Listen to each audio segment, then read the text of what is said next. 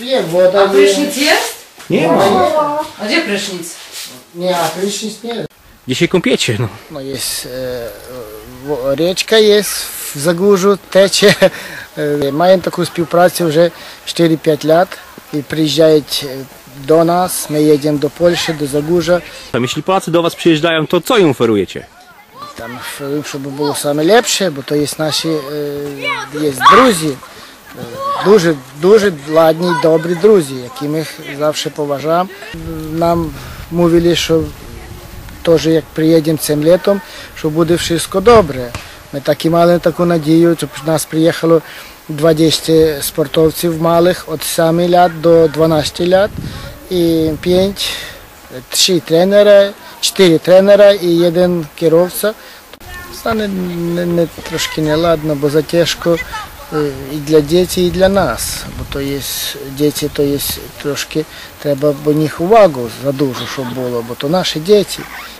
Jeśli Państwo wyjeżdżacie do, na Ukrainę, do tego klubu partnerskiego, to jakie warunki są tam dla Mieszkamy, mieszkamy normalnie w hotelu, które, które są opłacone, nie wiem, czy przez klub, czy przez władze Krzemieńca.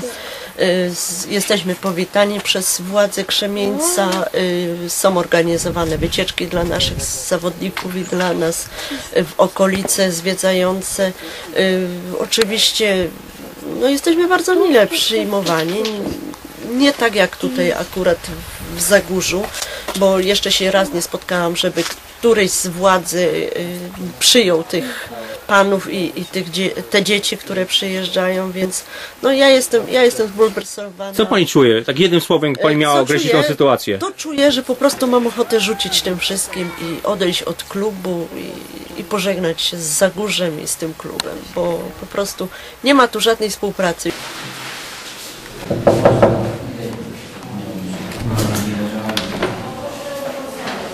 Tak się składa, że kilkadziesiąt minut temu otrzymałem telefon od y, prezesa klubu sportowego y, pani, Małgot, pani Małgorzaty Łusyk, y, z którego wynikało, że dotarła do nas grupa Ukraińców, mówię o sportowcach, o trenerach.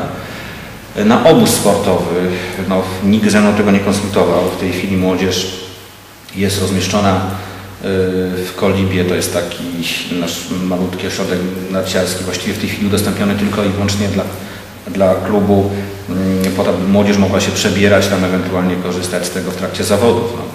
Y, No nie ukrywam, że będziemy starać się wszystko zrobić, żeby y, te dzieciaki mogły spać w normalnych warunkach y, podczas tego pobytu tutaj u nas. No z tym, że mówię, szkoda, że nikt tego z nami wcześniej nie konsultował. To jest to dla mnie duże zaskoczenie, tym bardziej, że ten obiekt, w którym w tej chwili oni są, on nie spełnia żadnych standardów, które powinien spełniać w sensie no, noclegowym może tak.